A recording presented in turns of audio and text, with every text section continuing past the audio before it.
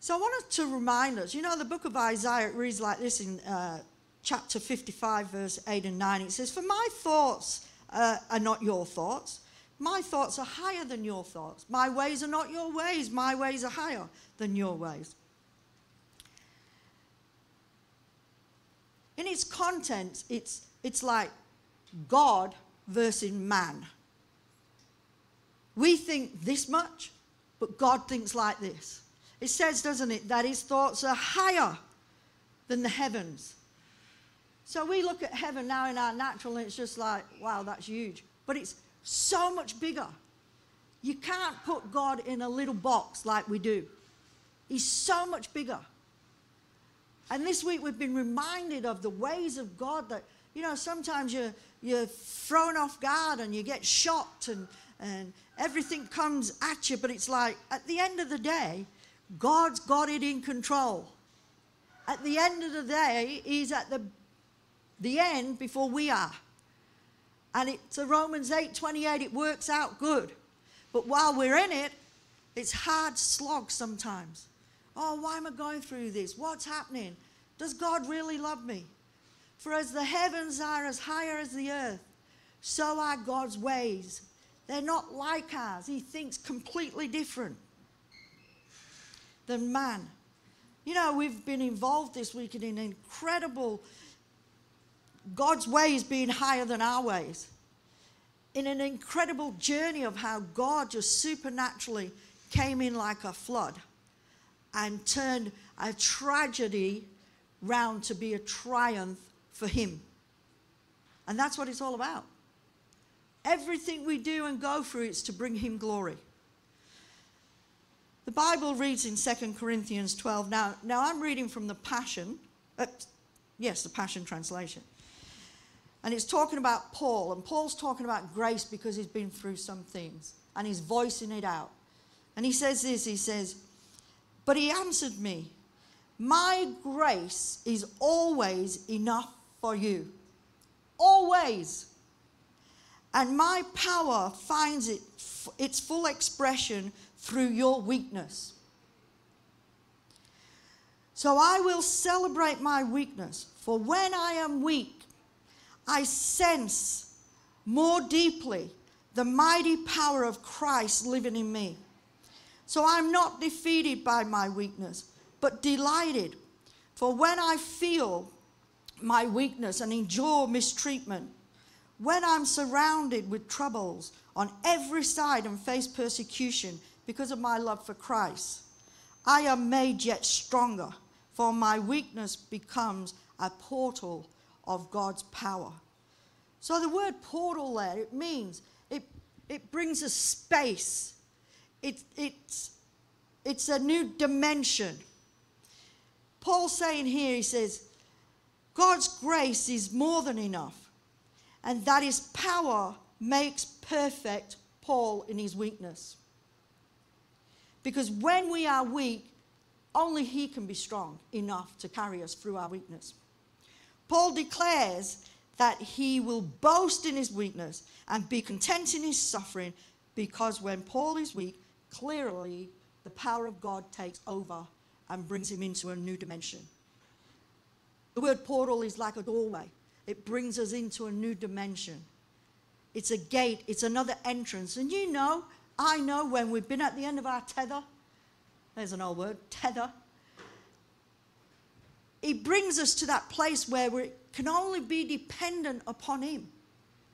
And as we depend on Him with everything we've got, He breaks through into a new dimension, a new season, some of us call it.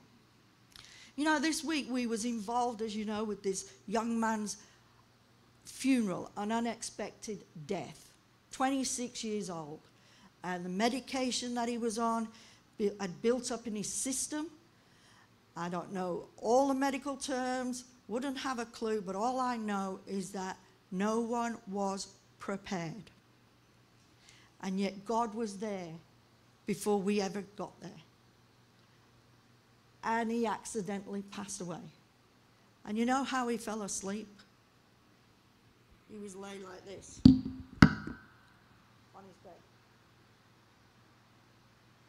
sort of is a sign of contentment. He had found the last six months of his journey, he had found Christ in a new way. And he was all excited. Everything within him was excited. And when we went to visit his parents on the fridge, there was his six months goals written out one, two, three, four. He had it all planned out. Bought a new ute, did it up so that when he come to Boonah, that was his plan, come to Boonah to be discipled. And he'd come to our house, he'd stayed a few times, and he was sharing with us. He slept in our bedroom, not our bedroom, but a bedroom, and was sharing with us all his plans that he felt the Lord had given him. You never know, church, what's around the corner. But we have to have a sure foundation and a confidence in Christ and Christ alone. God had brought him to a new place, and yet little did anyone know he was going to go to a better place. Yeah? A better place. A, a doorway was going to be open to him in a new way. But doorways are open to us through our trials and tragedies that we go through in life because we come deeper and we come closer to God. Because I tell you, medication is not working all the time. Sometimes it might be. But after speaking to people this week with this in mind of this young man, the stories have been phenomenal at what people have gone through because of certain medications. So here we are, going now this week to do a young man's funeral who we'd known since he was about two. He used to run ragged around the church. Everybody used to, there used to be a big stage, bigger than this, where we used to have church. And this day, Dennis is up there preaching, and all of a sudden, this little face popped out. And this other little face popped out, and it was him and his brother. And start doing this rigmarole on the stage while Dennis was preaching. And he, he you know, they both were just so fun loving. And yeah, Dennis used to take them to school and pick them up and take them to the movies, and that was their memory. Their memory was, Andrew's memory was, I want to come to Fassifern to sit under Pastor Dennis, and because he had this memory that he was a good guy. So we'd reconnected, and he wanted to be discipled. And so when we got news, it was like, oh, one minute he's in your house, the next minute you're at a table with his parents talking about certain things. But God just comes in like a flood. Like his mother, his mother wanted to do his reading, and she was saying, I don't think I can, but I want to. And we were like, well, the peace of God will be your portion to do that, to bring closure to you. Trust in his strength because when you're weak, He will be strong. He takes over. The Holy Spirit, with His power, takes over. And He comes in and helps you do what you need to do. And so at the funeral there, we arrived an hour early. And we were a little bit, you know, weak. And we thought, oh, we're going to have coffee. So we got to a coffee shop and we sat there like fish out of water in the rang, and we're all dressed up and everything.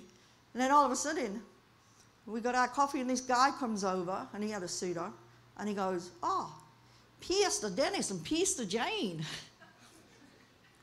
we're like, Okay.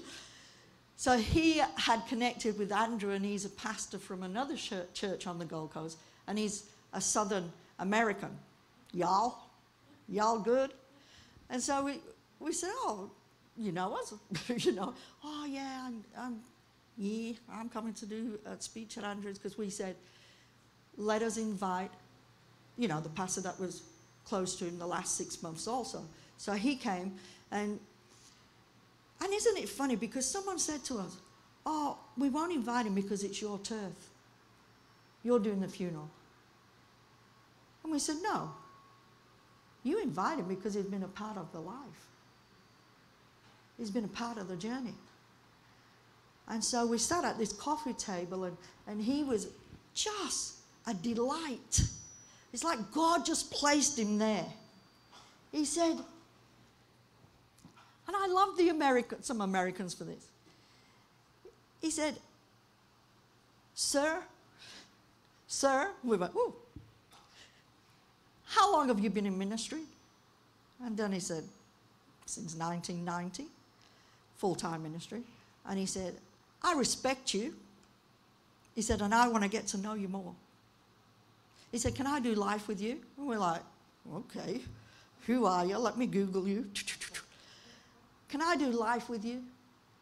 So we exchanged numbers and we got up, finished our coffee and we thought we'd better head back. And he goes like this. He was a big fella, quite similar to Jared, but probably a lot bigger and, you know, he had the hair growing, not. But he was, he was, you know, big. I, I thought he was like an angel. God sent him there. And he said, Sir, I'm going to walk one step behind you and you'll know I'm here. I got your backs. We were like, oh, this is cool. All this respect in 15 minutes. Woohoo! And he did. We went from the coffee shop all the way to the funeral parlor with him one step. And it was, we didn't know what to talk about. We were just like, okay. And we got there, and it was just like God had put an extra strength there, a, a, like a covering. And you know, something that could have been horrible in the natural was absolutely beautiful in the spirit realm. And Paula stood up there and she presented the reading, and it was just beautiful. Beautiful. And she just delivered what she had to say. And it's like when we are weak, we've got to allow God to come in and take over. Come into that doorway of our heart when we're hurting, when we're sick, when we, we, we feel we've got nothing else. And He comes in like a flood and He protects and He watches over. He'll put someone at your side to watch over you in the natural too. I believe that. But here's the thing so many hide what they're going through and they don't come out and tell. A lot of times in the natural, we don't know someone's hurting because in our cultures now, it's weakness if you let someone know how you're really doing. And that's a big thing for men. A lot of our men, they hide what they're going through and they try and walk it alone. Yeah, I know God will bring them through because it reads that, and He's a good God. But it's so much better if you're shouldering with people. That's what we're here for. That's what we're here for to help one another, to shoulder with each other. See, when we're weak, He is strong, but He'll give us people who will walk the journey with us. We felt so. I just, I said to Dennis, I said, I think that was an angel. I'll phone him up on Monday and see if he's still around. it was just like it was a God job. So he might even come in this church and he might even do a preach for y'all one day. But we saw God turn a tragedy into a triumph. And the Bible speaks of that in 2 Corinthians 2:14. It said God always makes his grace visible in Christ. This is the message. Who includes us as of his endless triumph. Through our yielded lives, he spreads the fragrance of the knowledge of God everywhere we go. Some translation says he spreads the fragrance of the Holy Spirit. And in past times, you know, when the move of God was on and the Holy Spirit was moving in a lot of churches, people had a scent, a fragrance of the Holy Spirit on their hands, on their clothes. Who in the room was involved in anything like that? Probably 15 years ago. Linda? Yeah? And so this fragrance, they reckon it was a heavenly fragrance from the Holy Spirit. And churches was, it, and gold dust and different things. Not that I ever experienced the gold dust, but the fragrance of the Holy Spirit. It was incredible. Incredible. So he says that he, he gives us the, um, the fragrance will spread, the knowledge of God everywhere we go. We have become the unmistakable aroma of victory of the anointed ones to God and a perfume of life to those who are being saved and an odor to those who are perishing. That's why sometimes people can't stand your presence.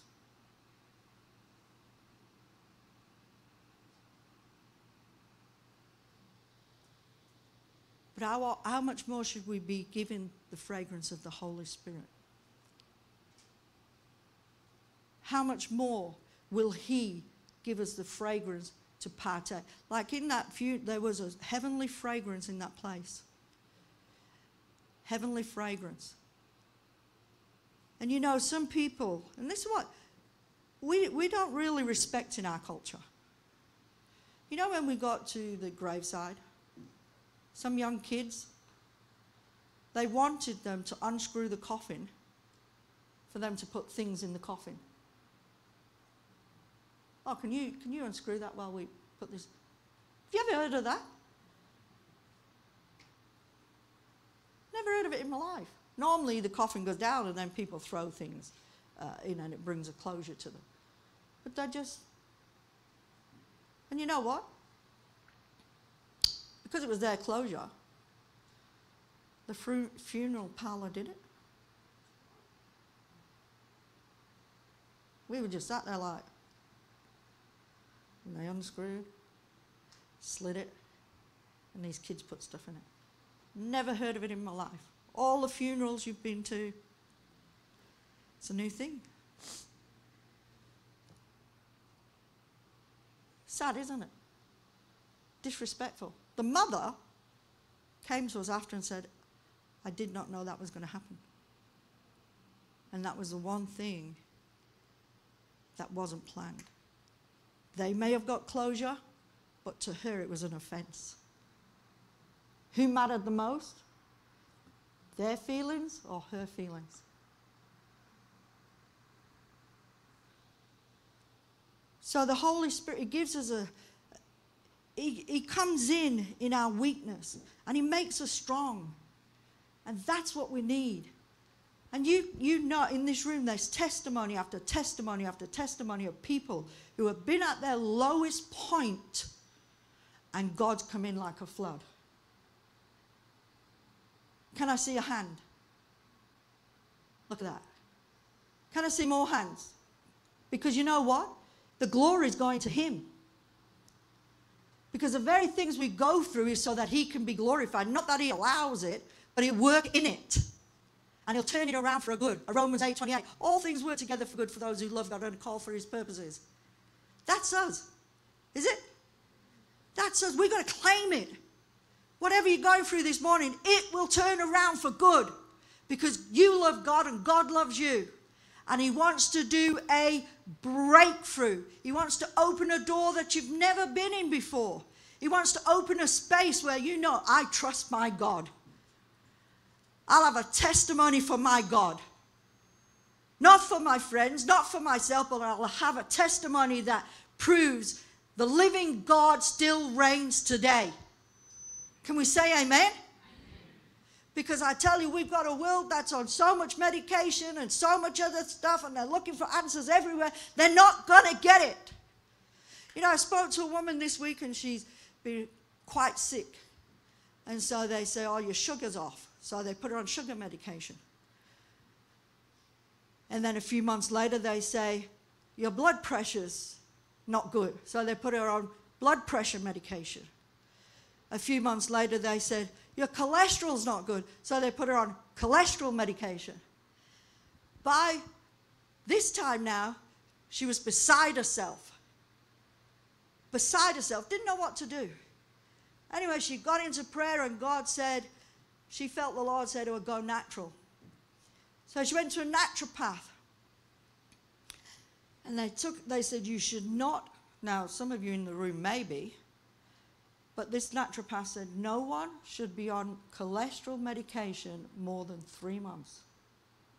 Have you ever heard that? Never heard it. But she should not have been on that medication more than three months. So she took her off.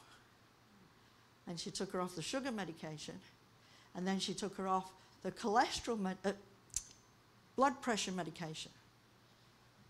And she's gone all natural. She started to lose weight the proper way because she needed to. She was a bit overweight.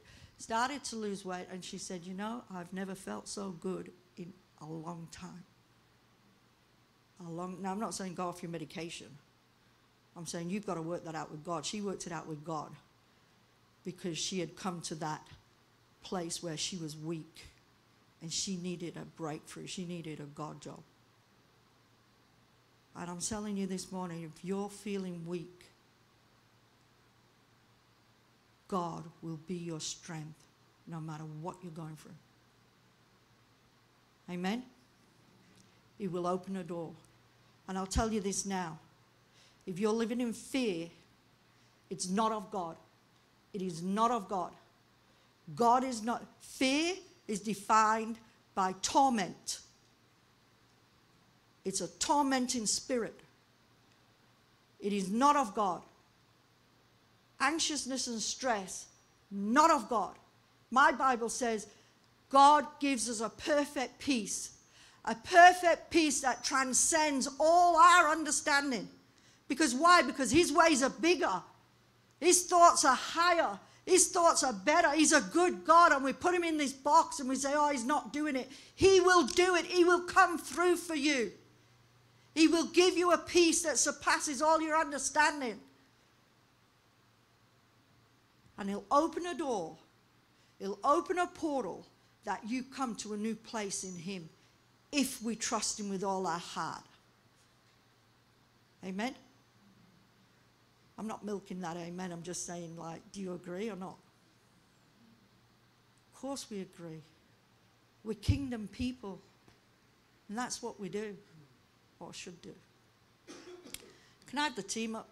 I think I've said enough. But I know this morning, I came this morning I thought, God wants to do some healing. God wants to do some deeper work. And I think we've just got to create the space, allow our hearts. I sat with someone this week and I'm listening to them and they're talking about a spirit of fear and they're, they're talking about demonic activities. And, I, and I, I'm, I'm, my heart was saddened. I'm just like, that should never be because God is greater. He's greater than all of that. And it's tapping into that. He is greater. Nothing that can come to us in this realm can, can be bigger than God if we believe. And if we position ourselves where we, we Lord, I'm weak. I need your strength. I can't do this. And he opens a door and he comes in like a flood. And he gives you a new testimony. He gives you a new tune because that's who he is. It's who he is. The team are going to sing that um, in the crushing. New wine in the crushing. that's a good advertisement. New wine. Because when you're feeling crushed, like I said, he comes in and he gives you a new wine. It's for you, it's for me, it's for all of us. We just have to push in. Here I am, I'm so weak, God. I can't do this anymore. I'm done with dash. I'm going to ask you this morning. If you're at the end of your tether and you need some prayer, that means at the end of yourself. If, you, if you're over anxious, if you're living in fear, if you're thinking there's no way, there's no end to this, church, there is an end to it. It's when we position and when we ask, I'm weak, God, I can't do it, it'll open. It'll open something more for us. Can we stand?